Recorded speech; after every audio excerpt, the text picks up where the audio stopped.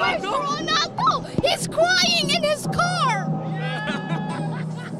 Poor Ronaldo.